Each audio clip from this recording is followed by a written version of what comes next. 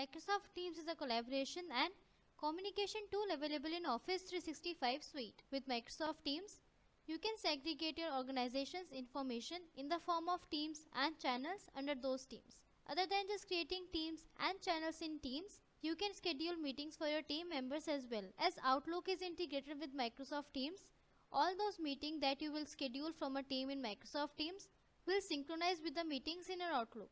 All the changes that you will do in your team meetings will get reflected to the meetings in Outlook. So you don't have to switch to your Outlook to schedule a meeting for your team members now. In this video I'll show you how the changes will reflect from the team meetings to Outlook meetings. Firstly, open our Microsoft Teams. You can either log in, in through your online portal and then access web version of Microsoft Teams or you can use the desktop application of Microsoft Teams as well. So here I have opened the web application of Microsoft Teams. Once it will open, I'll be able to see all the teams and channels of which I am part of. Now, I'll click on this meeting option from the navigation bar. Now to schedule a new meeting, I'll click on this option schedule a meeting. Once I clicked on it, a new meeting window will appear.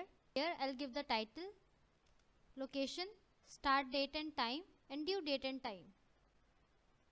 Other than this, you can check this box repeat if you want reminder for this team meeting on a repeat mode. As soon as I clicked here, reminder options will appear. Under this option repeat, I'll click on this drop down to select how frequently I want reminders for my team meeting.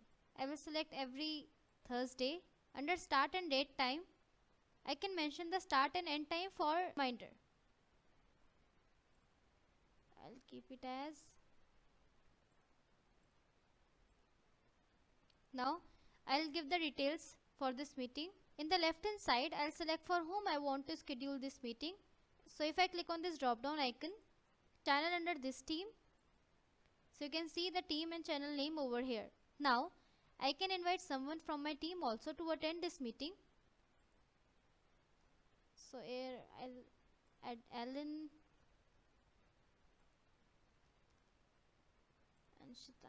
So you can see the status of the members over here. It's showing me free. Now, after filling in all the details, I'll click on this option, schedule a meeting. So you can see this meeting card over here in my conversation area of this channel, agenda under this team marketing campaign.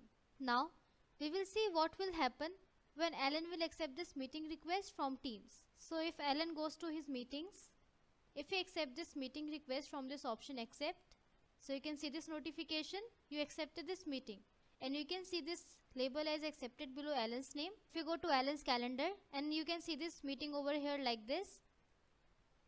I clicked on this meeting and you can see this notification over here as accepted.